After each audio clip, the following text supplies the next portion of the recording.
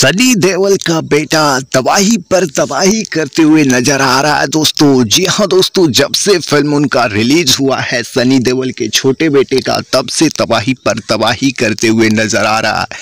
यानी कि दोस्तों, पाँच अक्टूबर को सिनेमा घरों में आती है सनी देवल के छोटे बेटे राजवीर देवल की फ़िल्म और फ़िल्म से डेब्यू कर जाते हैं बॉलीवुड इंडस्ट्री में। यानी कि दोस्तों, पाँच अक्टूबर को फ़िल्म रिलीज़ होती है। पंद्रह करोड़ की बजट की बनी फ़िल्म रहती है। और दोस्तों, राजवीर देवर, पलमान ढिलोन, यानी कि दोस्तों, पूनम ढिलोन की बेटी लॉन्च होती है। दोनों का फ़र्स्ट फ़िल्म रहता है दोस्तों।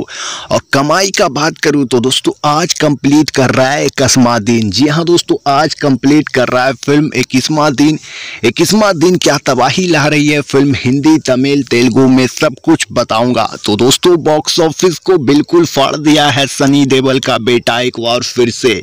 यानी कि दोस्तों, किसी को नहीं छोड़ा बॉक्स ऑफ़िस पर बिल्कुल राज कर रहा है सनी देवल का बेटा।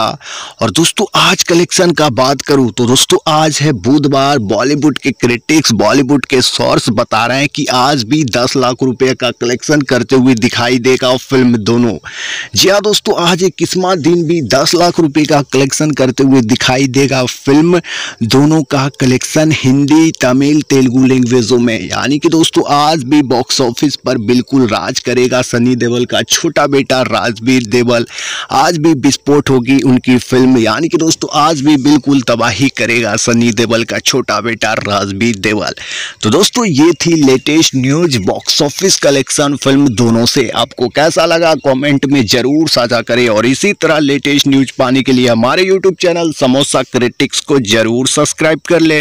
वीडियो अच्छी लगी हो तो लाइक करें, दोस्तों में शेयर करें और दोस्तों अब दे भाई को इजाज़त, क्योंकि भाई मिल रहा है दोस्तों नेक्स्ट वीडियो में।